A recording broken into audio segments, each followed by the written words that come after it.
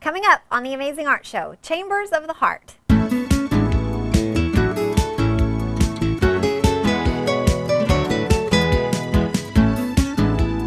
Hi, and welcome to another edition of the Amazing Art Show. I'm your host, Angie Beam, and today we are working on Chambers of the Heart. And we've got some really cool stuff we're working with today. Nothing too crazy. Um, you're going to need a large piece of um, white paper. White will, would be the best. You want it to be fairly thick, so not super flimsy. Um, you could use cardboard. You could get mom and dad to cut up a box for you. Anything that has some good weight to it. You are going to need some paint. Acrylic paint would be the best. We use that a lot on the show. So something like that. You want kind of a bright color. Um, obviously, you'll need a brush to apply that with. You're going to need um, some type of markers, and these are my favorite markers in the whole wide world, but they don't make them anymore, so they're like gold to me. But um, some kind of a marker. If you could get something that's kind of like a paint marker or a gel marker, that would be really, really good. Um, you're going to need a permanent marker. You could do Sharpie, whatever you can get your hands on. Um, you're also going to need a ruler for some straight lines today. And you're also going to need out of the kitchen um, a lid. And you want it to be kind of a medium-sized lid. You don't want like a sour cream lid. You want it to be a little bit bigger than that. So thinking like, you know, Cool Whip lid would be really good. Um, so you need something like that. Um, you're going to need some glue. Um, any kind of glue will really work. And you also are going to need some, some kind of a pattern paper. So you know, if mom maybe scrapbooks or somebody in your family that you know scrapbooks, you can maybe get some of their scraps left over. Or if you got a really cool present for your birthday or Christmas, you can always take that paper and you can use that as well. Um, and then the last and most odd thing that we're going to need today is going to be caulking. And this is the kind um, that is acrylic latex caulk. It is white and so, um, and it's paintable because we will be painting over it today. So um, that's kind of the strangest thing that you need today. Everything else is fairly normal and pretty easy to gather. So um, get your stuff and let's get started. All right, on your paper, well, before I say that, let me say this. I was looking at an artist, and we actually in my class, we've been talking about pop art. And then I came across this particular artist that I'd never really covered with the class before. And we, since we just come off of pop art, we'd been talking about how, you know, pop art comes from the word popular. It's things that were popular at the time. And so the kids were really, when I showed them this picture, I was asking them, did, did they think it was pop art? And so we talked a lot about it. We talked about how in the picture there are definitely some things that would have been popular during the time. But then as we got to looking at it, we were seeing that the that this actual piece was made in 1995. So were these cars real popular during 1995? To some people, probably, um, but not to you know the mass majority. Most everybody wasn't driving a car like this. Um, but we also talked about um, you know cherry pie. It's pretty popular. It's something that doesn't really you know, necessarily go away. You've, we've had that for a long time and it's popular. Um, everybody has a heart. We talked about the hearts too. We talked about popcorn. Of course, that's something that we all, you know, grab when we're watching a movie. Um, and then up in the far corner, they have like a little cityscape, and you see once again these kind of old-timey cars. So Frank Romero is our artist that we were looking at, and we we talked a lot about the picture. We talked about um, his use of color. He uses lots of blues and reds. We talked about his brush strokes. We talked about how he visibly wants us to see his brush strokes. So that's, it's not because he was lazy or because he was just tired and like, oh, get, get done with this. He wants you to, you know, live every brush stroke with him. So he shows you all of those brush strokes. And so we talked about that, but we also talked about that there's repetition within this, just like there is in pop art. And the repetition doesn't necessarily come with the images, but each piece of this, this shape is repeated over and over again. So you have repetition within these shapes. So the kids are really excited about it and we kind of talked about doing something similar to this. And so we finally decided that we were going to take the concept of Frank Romero's mural, and this is a very large mural, and he is a muralist. That's what he does. He typically does really, really huge murals on the side of, you know, on the embankments on the highway and different things like that.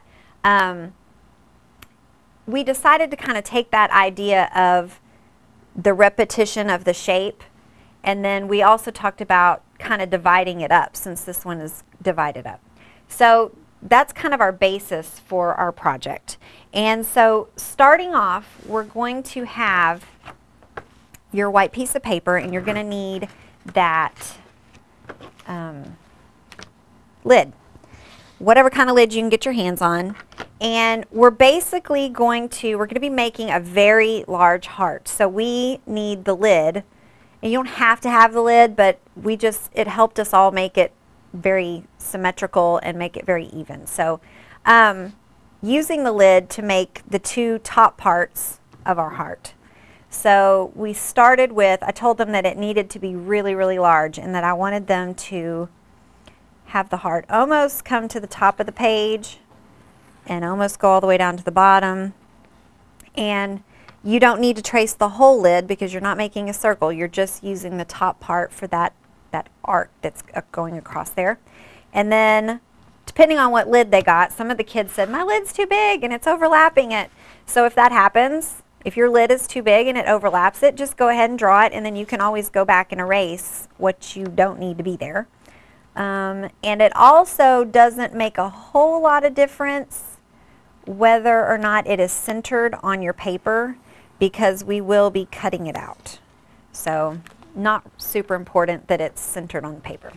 Um, and so once you have got the two top, the two the, the two top parts of the heart, you are going to, I told the kids kind of try to find where your center point is down on the bottom, and that's where you want to head. And I also told them, you know, you don't necessarily want it to be, you know, like super, super straight. You want to give it a little bit of natural curve, give it a little bit of style. So we talked about kind of doing a real light line so that you can kind of watch and see where it's going a little bit easier and direct it over where you need it to go. And then if you need to kind of modify, either by bringing the line out a little bit or bringing it in a little bit, whichever, you can easily do that without a whole lot of heavy extensive erasing. So, once you get that done, The next thing that you're going to do is you are going to be dividing your heart into four quadrants, all right? So quadrant meaning four, so we're going to have four. So I explained to the kids you can divide it however you would like to. I showed them the method of dividing it where it just goes straight down the middle. It did not have to be symmetrical you could have one quadrant could be larger than the other, so it was kind of up to you. And um, you could go straight across, you know, halving it this direction, or if you wanted, you could make one mark here and then drop one down and one could be here. Um, I think what I'm going to do, I'm going to do one here. And then I think I'm going to do my other one, it's going to be up here. So I'm going to kind of stagger mine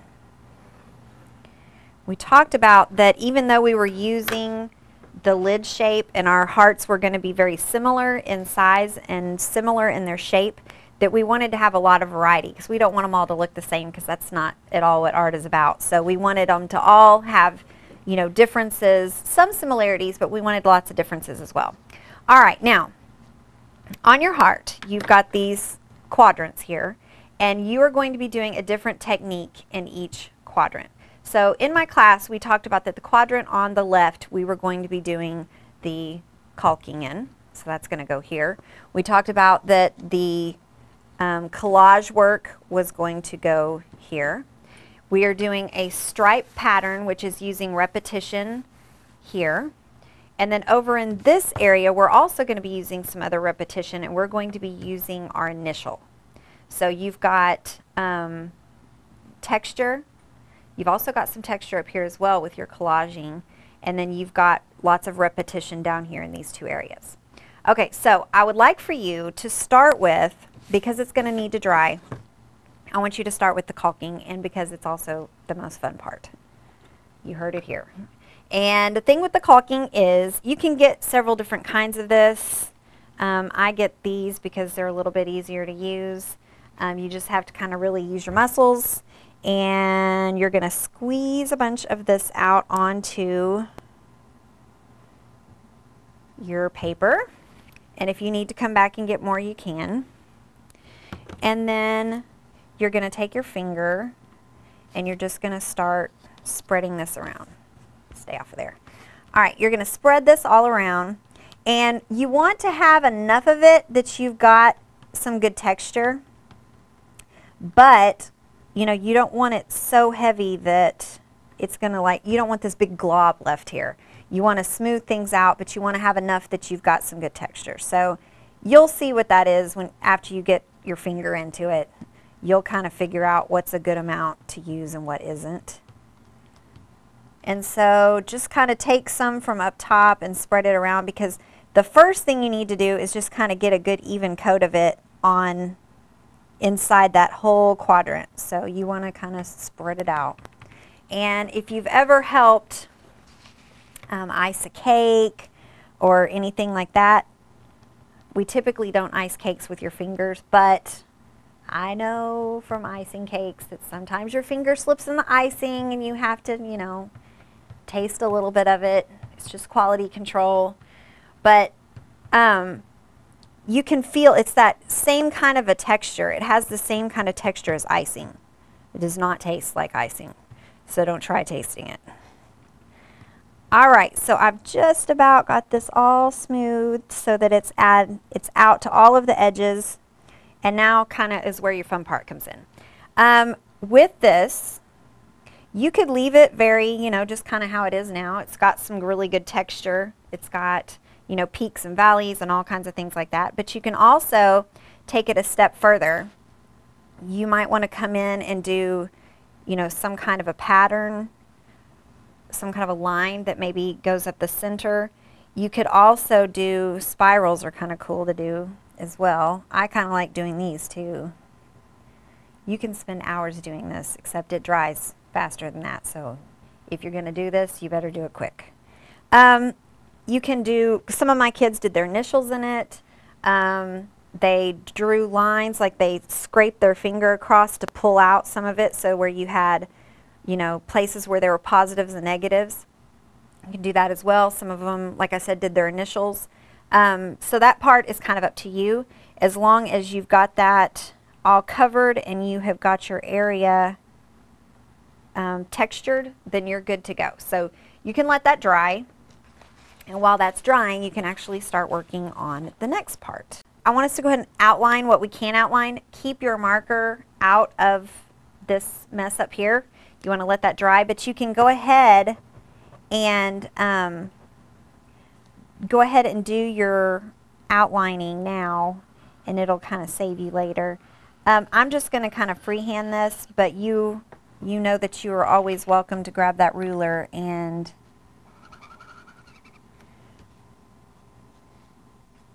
I'm going to turn this. I'm seeing a my sleeve in the caulking. That's not good. I already wore enough of it home when we were doing it at school. All right, so we're going to outline this. And once we have everything outlined,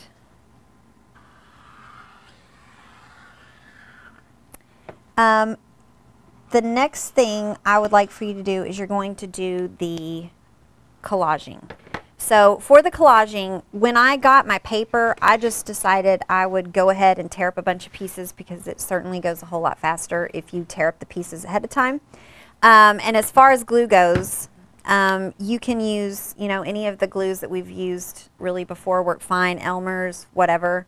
Um, the one thing is, is if you're going to use something like this, whenever you put the glue out, you probably want to spread it around with your finger a little bit because you don't want it to be too lumpy bumpy. You want it to be pretty flat. Um, I typically do not ever use stick glue, but you're going to see it here today. So I'm going to use some stick glue. I don't even have this at my class. I just had it at the house and I thought, oh, I'll grab that real quick. So it'll probably work really fast actually, so that'll be good. All right, so spread out some glue. Don't do glue on the whole entire thing because you can't go quite that fast. Um, and then you're going to start by putting your shapes down. And you want to overlap your shapes. So that means that the first shape that you put down, when you come and put the second one down, it's going to lay over it just a little bit. And you want to keep in mind where your outline is here, and you want to try to stay within those lines. So as you're laying down your paper, overlap it, but kind of try to keep your eyeballs on where, I'm going to turn this, um, where the edge of your paper is. Actually, this glue may not work good because it may dry faster than I can go. We'll have to see. You want your pieces to be, um, you know, not ginormous, but not itty bitty either. So kind of medium size around nickel size, I would say. Nickel to quarter would probably be pretty good. And you just want to keep that layering going. I'm going to put some more glue. And um, the other thing that you want to make sure is that um, your edges, we, we tore the paper. We didn't cut the paper. And that we did that for a reason because we want that really nice texture. So when you've got those little edges that have the torn marks on them, they just look really, really nice on this project. So those are intentional. They are not accidental. And for whatever reason, I've always liked tearing paper, but some of my kids were just like, can't we cut it? No, you can't cut it. And they just were totally distraught that they couldn't cut it. But I will say that after we were we looked back at the artwork and we were all kind of critiquing everybody's work. They were talking about how they liked, there were a couple kids that did not follow directions and they ended up cutting it. And we all talked about how we liked how it looked a lot better with the edges being torn.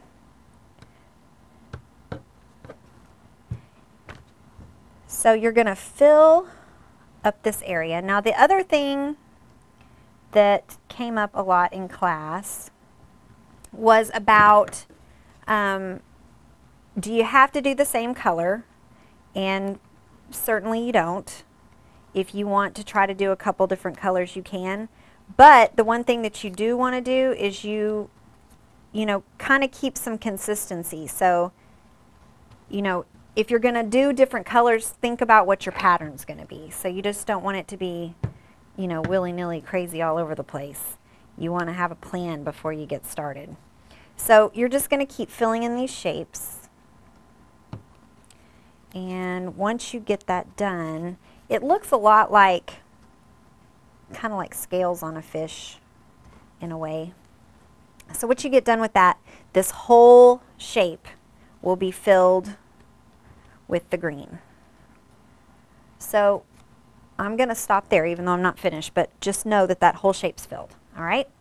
Okay, so next I want you to go down and you are going to be doing some kind of a pattern in this area. And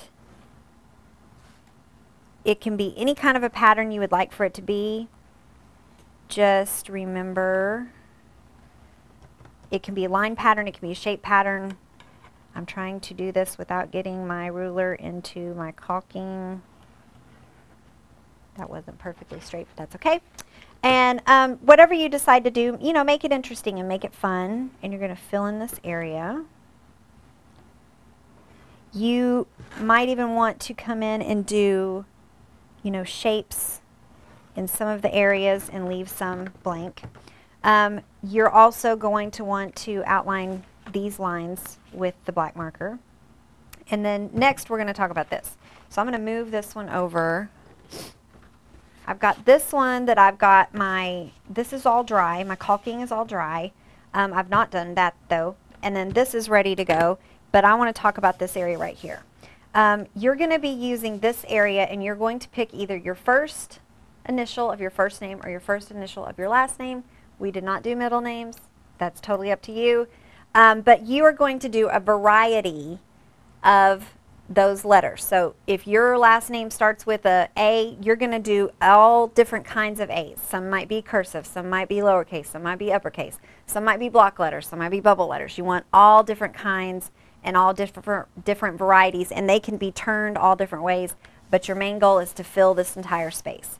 So, um, you know, just jump in there and get started anywhere you want to. Some of the kids did they started out real super small and they made, you know, all these itty bitty little letters. And then they kind of got tired. And I said, start bigger. So when you when you're getting started, I would suggest kind of starting with maybe a big letter in the middle. It kind of breaks up the space and it's not so scary to think, oh my gosh, I've got all this to fill. And don't forget that you can turn some in different directions. I'm going to do a lowercase here, and I'm going to come in here and do some other ones. And remember that you don't want them to all look the same, so kind of keep that in mind as well. So you could have different types of lines that go inside here to make your shapes, but you want to fill it. So as you go up, obviously your letters are going to have to get smaller to fit into those little small areas. So kind of keep that in mind. I've got a little bit of caulking here, so I'm just drawing on top of it. And I even, on mine, I even did some of my letters backwards. So you're going to keep filling that, and then you're going to outline this part, all right? So when you get finished with the outlining, the next thing that I want you to do is you're going to come in and in this area, as well as this area, you're going to be using the markers to color all of this in. So when you get finished, I'm going to kind of show you what a couple of the ones that are finished. Oh wait, I forgot to tell you the most important part. Wait, wait, wait. We forgot about this part. This is the most fun part. How could I forget that part? All right, your acrylic paint. Pick whatever color you would like to pick.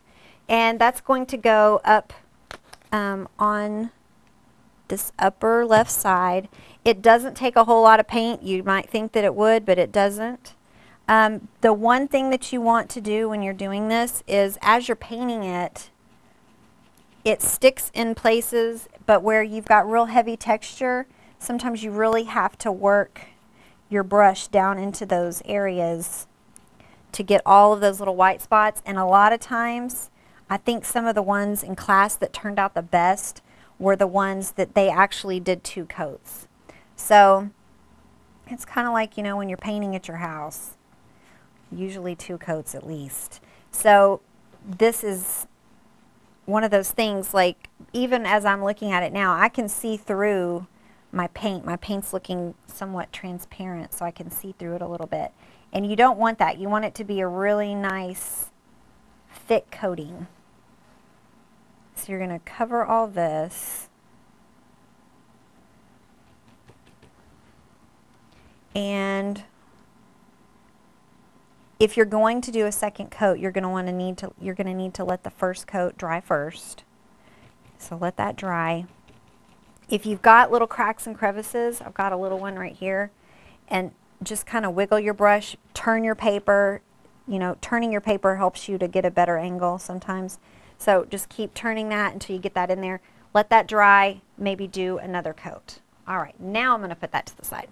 I can't believe I almost forgot that part. Okay, so now these are a couple of my students. So you can see how we have got our collage in this area. We've got our um, paints in this area. This particular one did um, lots of spirals in this area and then initials down here. And you can see how each, you know, each child depended, you know, they both took a different approach on how they wanted to add color to their initial area.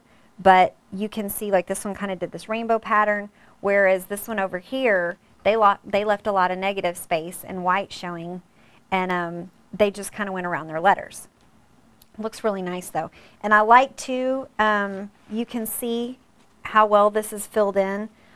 I like how I like the difference between how flat this one is, but this one, you've got some really good texture, and you can see lots of white in between, which just, you know, we wanted them all to be different. So your last kind of finishing steps that I wanted you to do were to, once you've got everything done, go back with your marker because inevitably when you paint and do the marker, you go over the lines sometimes, and that's fine. Um, but go back with your marker because you really want to, you want this part to be really, really neat and concise. So in order to do that, you want to have really good craftsmanship, which means sometimes you have to go, you know, back over the lines that you've already drawn and or darken them up and make them look really, really nice because it helps your piece to stand out. And also, once this is dry, which theirs is dry, mine's still wet, but you can also carry this marker line all the way up here around your edges and make it really nice and thick. You want it to show. And so once you have done that, your last step your last step is going to be to get a large piece of black. And you don't have to necessarily do this step, but this is how I was thinking it would look best to finish off the project. And have your heart on here. Trace your heart. Don't let it move like I just did. Trace your heart. And we're going to actually, when we cut this, we're going to actually cut out away from the line that we just drew, but that kind of helps you to keep your bearings. You can use pattern scissors or you can just use regular scissors. I think I'm going to use regular, but I am going to give it my own pattern. I'm going to cut this extra off. And um, your last step is going to be that. So basically, here is my pencil line. I'm going to stay away from my pencil line because I want it to have this decorative edge that's going to show along the outside. So I'm just going to cut a wavy line that's going to go all the way around. And it's okay if you get to, to a part like maybe up here at the top where you can't quite make your the waves be quite as big as they were before, it's okay. This is one of those projects, you know, sometimes when you have those little differences, they really stand out and look really, really nice on your work. So your last step, once you get this trimmed, is you're going to glue your heart onto your black sheet of paper. And I would probably, instead of using my nifty glue stick, I would definitely go for some stronger kind of a glue because the way this is and how heavy it is, it's going to need something to help it, something strong. So give it a little bit of glue. You don't have to spread it out because it will stick just fine. And this goes down on here. Make sure you cover up your pencil lines and if it doesn't, erase them Probably should have done that on the back. That would have been even better. And you've got your finished product in your chambers of hearts. Let's go to today's interesting facts about the heart. The average adult heart beats 100,000 times a day, 2.5 billion times during a lifetime. And every day, the heart creates enough energy to drive a truck 20 miles. And in a lifetime, that is equivalent to driving to the moon and back. All right, ladies and gentlemen, so I wanted to show you really quick. I showed you the other one after it was cut out, but this one really looks really, really nice up against the black and really shows off. So I can't wait to get this one cut out and glued on. And we are done for today. Thank you so much for joining us, and go out and make some amazing